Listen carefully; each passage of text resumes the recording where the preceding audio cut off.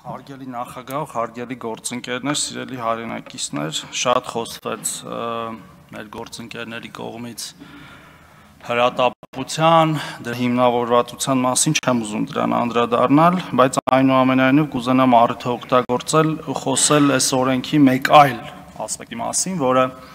շատ կարևոր է, ծխելը վնասակար է ոչ միայն յուրաքանչյուրի առողջությանը, այլև մեր տնտեսությանը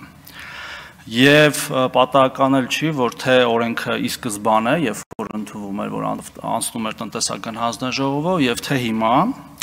հետազոտությունները ցույց են տալիս, որ մենք ծխելու պատճառով տարեկան կորցնում ենք մեր հնայի 4.2%-ը եւ դա յուրաքանչյուր անձի հաշվով կազմում է մոտավորապես 92000 դրամ։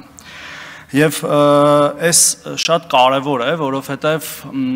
մեր գործընկերները հաճախ նաև հարցեր են տալիս այսպես կոչված տնտեսվարողներին ուղված, ես դեմ չեմ, որ կարող է ինչ որ մի կոնկրետ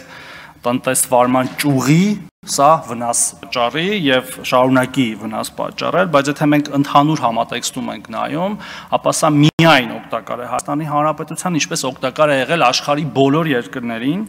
եւ պետք է հստակ արձանագրել եւ բարձրաձայնել parberabar, որ ծխախոտային արտադրատեսակներից որևէ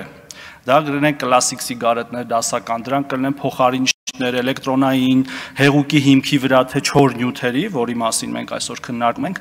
մուծած հարկերը երբեք չեն գերազանցում, երբեք ու որևէ երկրում չեն գերազանցել եւ չեն գերազանցելու տված վնասը այս արտադրատեսակների օգտագործումից եւ ամփոփելով խոսքս ուզում եմ ասել, որ եք հիշենք շատ հաճախ